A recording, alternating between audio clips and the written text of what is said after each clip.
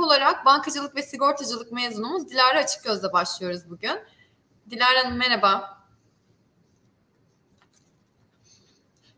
Nasılsınız? Sizler nasılsınız? İyiyim ben de. Çok teşekkür ederim. E, ee, 2018 yılında bankacılık ve sigortacılık bölümünden mezun oldunuz. Şu anda neler evet. yapıyorsunuz? Eğitim süreciniz nasıldı? E, aday öğrencilerimizin hep merak ettiği şeyler mezunlarımızın üniversite hayatı nasıl geçirdi ve daha sonrasında neler yaptı aslında. E, biraz onları anlatabilirseniz çok sevinirim. Tabii ki. Ben 2016-2018 sizlerin de dediğiniz gibi bankacılık sigortacılık mezunuyum.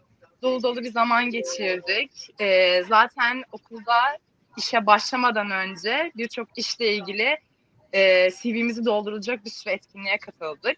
Bunlar sonrasında mezuniyetten sonra bizler için çok mükemmel diyebilirim. Bunları iş mülakatlarında daha çok iyi anlıyoruz.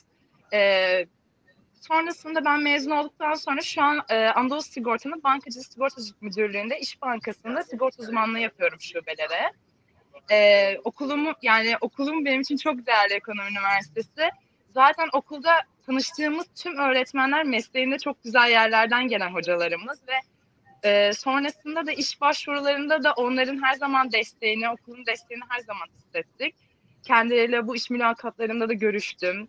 E, hocalarım oldu, referans referansları oldu benimle ilgili.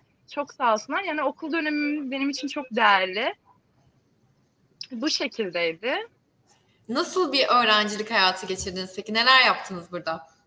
Şöyle söyleyebilirim. Ee, birincisi çok aktiftik. Ee, ben çok böyle konuşamazdım. Böyle biraz gerilirdim. Okula başladığımda aslında o proje ödevleriyle farkında olmadan iş hayatına da bir şekilde hazırlanıyoruz.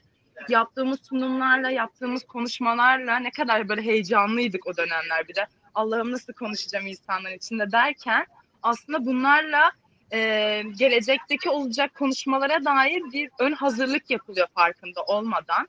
Ve yaptığımız o projeler, okulun bizlere verdiği o ödevler bile sonrasında iş hayatımızda o kadar değerli yerlere geliyor ki. Mesela ben okulda şöyle bir şey var şu anki hayatımla ilgili. Ben İş Bankası'nın tanıtımını yapmıştım proje ödevimde. İş, şu an İş Bankası'ndayım. Ee, okuldaki yaptığımız etkinlikler bizim CV'mize çok güzel etkileri oluyor. Yani Rotary Kulübü etkinlikleri vardı, lider, e, toplum liderleri geliyor. Finans gelişim haftaları vardı, orada tanıştığımız insanlar yani okul sürecim benim bayağı güzel geçmişti diyorum zaten tekrardan hani bir zaman bulsam diyorum tekrardan bir en azından yüksek lisans için geri döneceğim. Bu şekilde geçti. Çok güzeldi. Aslında aktif bir öğrenci olmanın da önemi biraz burada sanırım. İşte bu projelere, etkinliklere katılmak, okulun sağladığı sosyal imkanlardan yararlanmak da e, hem üniversite hayatının keyifli geçmesini sağlıyor belki de hem de daha sonrasında iş bulma sürecinde, işe adaptasyonda, e, kendini geliştirmekte hatta iletişim becerilerinde bile çok etkili olabiliyor. Gerçekten öyle. Çünkü e, okulda yaptığımız tüm etkinlikler bizler farkına varamıyoruz aslında. Ben de aynı şekilde okul döneminde okurken çok böyle evet katılıyorum ne olacak gibisinden oluyorsun ama o kadar değerli ki bunlar. E, iş hayatına girdiğimizde anlıyoruz aslında ama etkin olmak gerçekten zaten ekonomi üniversitesi bence bir işe başlangıç olarak görülmesi gereken bir kuruluş. Yani ben şu an düşündüğümde, şu an iş hayatıma düşündüğümde herkese diyorum bir iş hayatına giriş olarak düşünebilirsiniz okulu. Çünkü tamamen bu şekilde, tamam bir tamamen bir eğitim var. Yani bir sıfır önde başlıyorsunuz dışarıya çıktığınızda. Ve okulun evet, her peki. zaman desteğini gördük. Süper. Peki meslek yüksek okulu ve bankacılık sigortacılık bölümüyle ilgili neler söylemek istersiniz?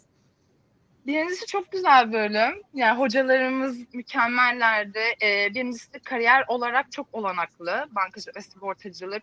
Zaten sigorta sektörü böyle buram buram geliyor yani gümbür gümbür.